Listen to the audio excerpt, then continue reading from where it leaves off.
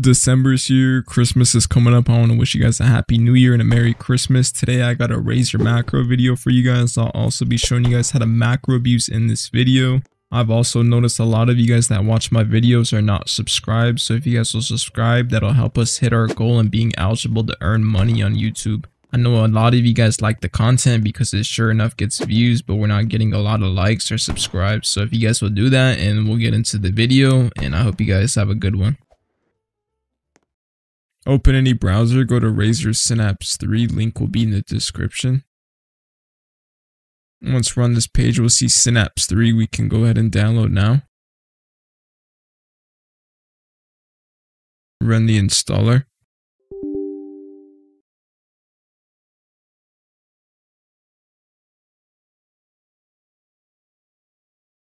Make sure Razer Synapse is the only one selected, then we can press install. Skip and continue. Then wait for the installation.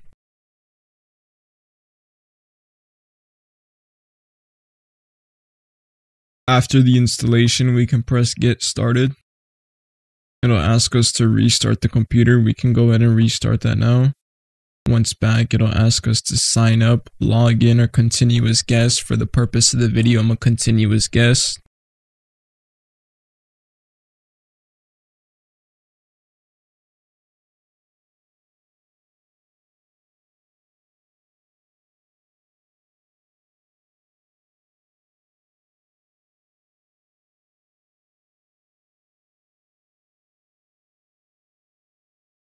Once we see this page here, we can press skip. Press modules on the top here. Scroll down until we see macro. Press add. Install and restart. Now that we installed the macro, we can go to the very top and press on macro. And this is where we will import our macro when we download it. The download from my macro will be in my Discord server. You guys can find that in the link in the description. Once we're in the Discord, we can scroll down and find macro channel. Once we're in the macro channel, we can scroll up and we'll see Da Hood macros, Razer Synapse 3 through 4. And then here we can install the file.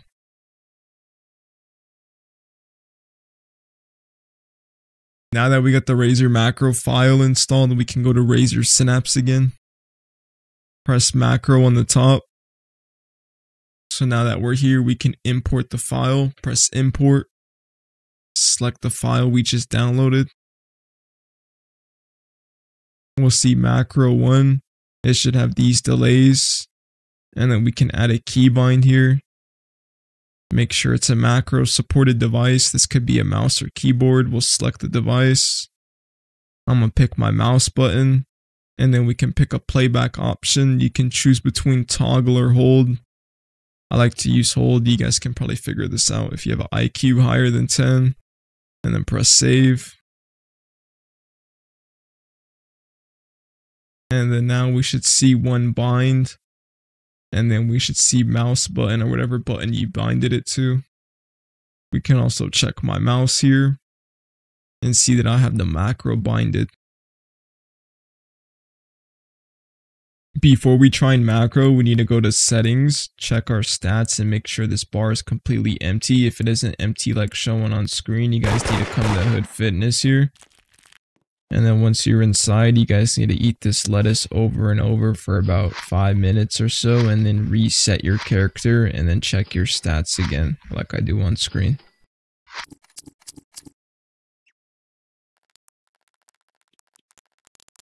After resetting, the bar should update. It should be completely empty like this. If not, then you need to eat more.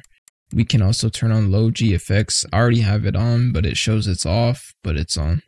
So we can go to Roblox settings and then make sure our maximum frame rate is at the highest it can go. So we'll select 240 and then make sure our graphics quality is down to two bars. Now we can also check our FPS and make sure we're pulling over at least 80 frames for a decent macro.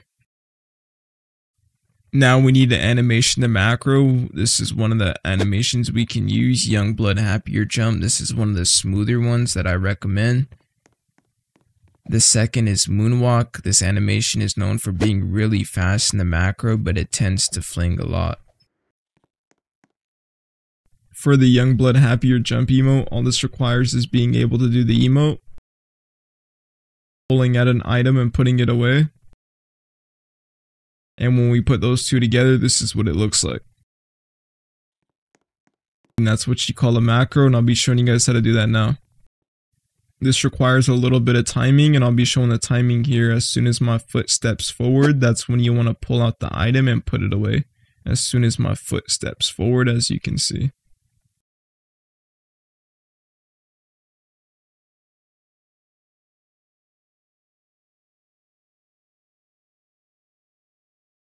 So now from what I just showed you, we're going to do that once. So we're going to do it once.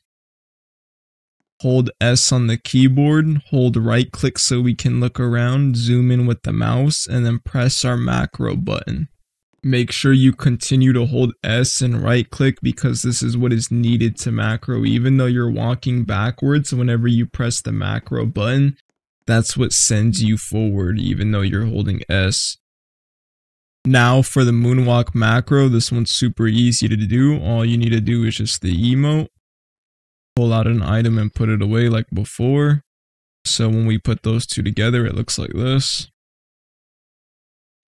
And then we do our macro. And I'll be showing you guys that now.